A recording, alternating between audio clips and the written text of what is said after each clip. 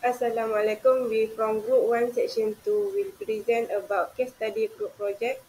We choose uh, Gaziantep Castle in Turkey for our project. For our lecturer name is TS Dr. Muhammad Fahmi bin Abdul Rahman. So we go to the next slide. For our group members, uh, first my name is Siti Diana binti Zulkarnain. My metric number is CN220296.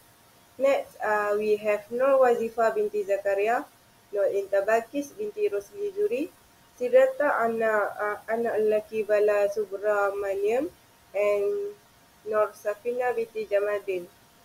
So we go to the project detail. The project detail, Gaziantep Castle, also known as Gaziantep Kalesi and Brook Hill, is a medieval fortification in the Turkish city of Gaziantep. It is located on a hilltop in southern Turkey city of Gaziantep. The castle is located around 20 kilometers west uh, of the city center on the rocky hill overlooking the Euphrates The castle is split into sections and walls that display architecture style from different ages. It is built out in the shape of a rectangle with four primary gates facing in different directions. The castle and its surrounds have become a major tourist site, drawing people's interest in history, architecture, and panoramic. The castle uh, proximity to the River and its proximity to all train routes contribute to its attraction. Its uh, architectural magnification strategic position and historical significance make it a fascinating spot to visit and learn about the past.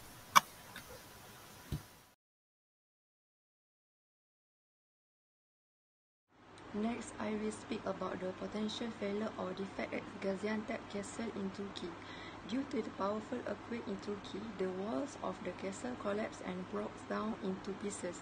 As per the reports, the iron railing around the castle was scattered on the surrounding sidewalk and roads.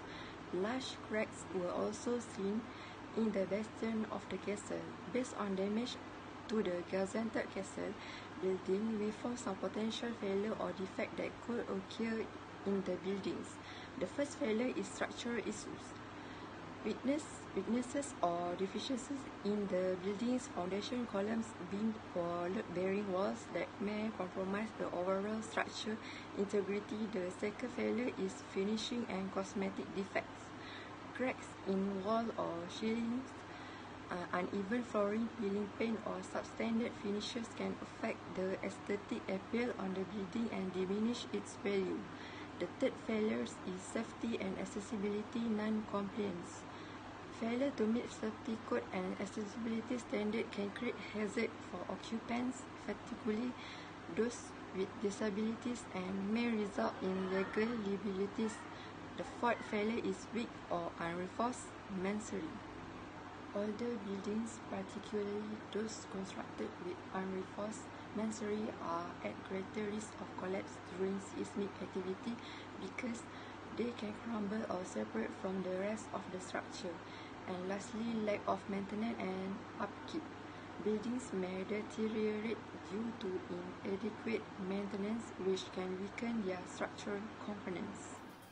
Next, I'm going to present about the involvement of civil engineering technology.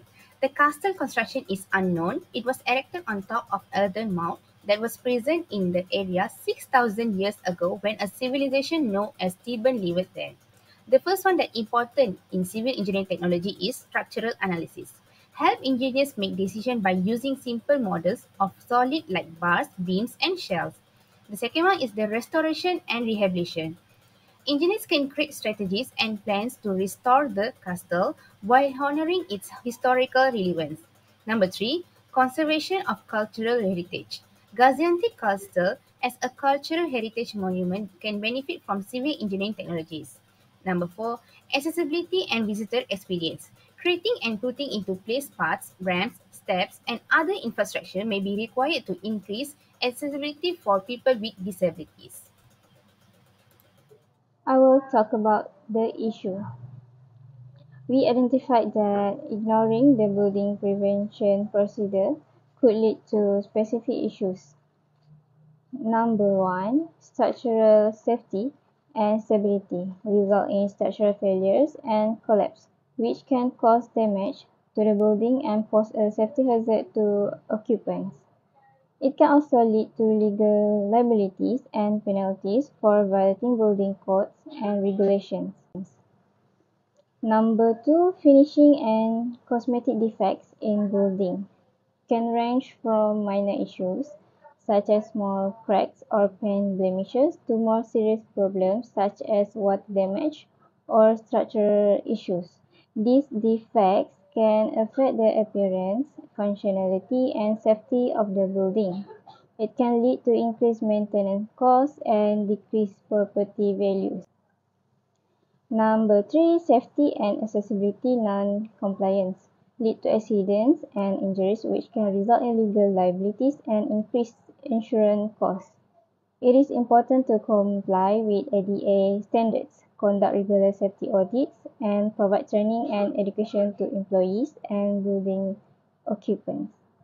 Number four, ignoring the issue of weak or unreinforced masonry lead to structural failures such as wall collapse or foundation failures which can cause damage to the building and pose a safety hazard to occupants. It can also lead to increased maintenance costs. Last, number five, lack of maintenance and upkeep lead to equipment breakdowns which can disrupt the normal operations of the building and cause inconvenience or discomfort for the occupants, result in health and safety risks such as fire hazard, mold growth, poor indoor air quality, and pest infestations.